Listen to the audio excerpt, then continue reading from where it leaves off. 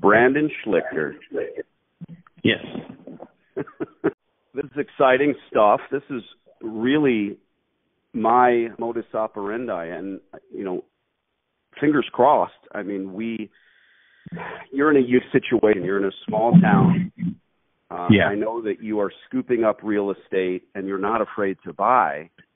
hmm Uh, tell me about this location at the Central Center. What I mean, I mean, we were there. I walked it with you. It's got horrendous old equipment. There's uh, the only Yeah. dry cleaner in town is connected. But what about the bigger picture? What's the story with the landlord? You, you know everybody. It's a small town, so he doesn't want to sell. What's Um. I it's just a situation where I have never talked to this guy about selling. Um, the rumor was slash has been the guy that is um, in the process, uh, or he currently o- owns the dry cleaner plus the laundromat. The rumor is he is wanting to sell or just close down. Um, it's the only dry cleaner in town. It's one of a few laundromats. Um, when we went in there uh, and filmed, there was nobody in there. They, they can be busy sometimes, but uh, like we said, it's a non 24 hour location. Um, no one in, ta- in that whole county, I think, has 24 7 laundromats. So in between good drop off location plus the potential for retooling that uh, all the garbage that was there, you know, you said that there's some opportunity there. The guy that owns strip mall, that is a very large strip mall, but um, one thing I think that could play in, he's got two or three very large retailers in there that have closed down. I Mm. could be wrong, but I was looking on one of the big commercial broker websites on Google, and they had like six of these storefronts available for lease, um, which Yeah, the market is brilliant for us right now for leasing. Uh, Yeah. My Good. my query is this, and ho- you know, this is a process. Hopefully, we'll get the right guy on the phone. Steve happens to be a real estate agent. Steve also Mhm. owns the building, correct? It's not a real Yes. estate investment trust, nothing of that nature. He's Yeah. the guy. It's it's Okay. him. I think his family, but he's the guy that runs the show. I confirmed with my buddy Sean um, that he's the guy that owns it. He's the one that negotiates the leases for the um, Nice. the, the lessees. Um, so Do you want the building if it's available, or do you want to Sure. go straight after the lease? I can I I would be interested in anything at this point. Okay, so we'll talk about that. I mean, in my vein, I deal with a lot of clients, students of mine that do want the building, and my rule of thumb is don't give a penny for the laundromat.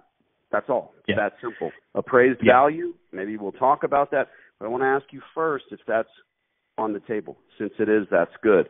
And we're not trying to end run this guy. What's the source do you remember so that I might be able to reiterate it? Where did you hear that he just wants to walk away from the laundromat? Um, some of his workers, if memory serves me right, he also owns a laundromat, so that comes into play. He also owns a dry cleaner and a laundromat down in Jackson, Ohio, which is probably 15 miles south of Chillicothe, where my laundromat's at. He runs the only dry cleaner slash um, laundromat in town, and I had heard from both a couple customers down in Jackson as well as a worker from either his dry cleaning operation or his laundromat operation in Jackson that he was planning on closing down. Um, he's older from what I understand, and that was just the rumor that I heard through the grapevine, not by just one person, but I want to say it was two separate people that said, "Hey, have you called Mister So and So that runs Sparkle Cleaners? I hear he'll sell you his laundromat." yeah, sure Uh, he will. you know, Was that the guy that Yeah. that that chased us out? Do you think? I think so. Um, I could easily be wrong in that, but I think kind of that that might have been the guy that was in there angry at us. So Well, the only reason we ran out is I, I think that it wasn't really time for that conversation. And again, I'd rather talk to the landlord. We're not trying Yep. to end run.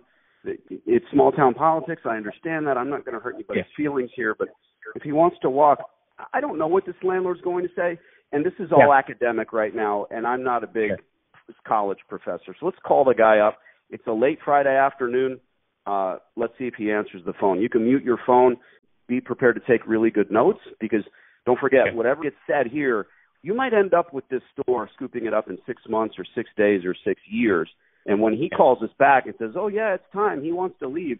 We need to remember whatever was discussed now. Sure. Here we go. Stand by.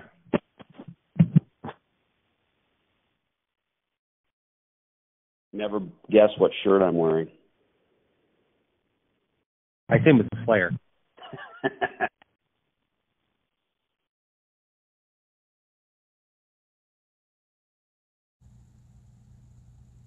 this is a landline.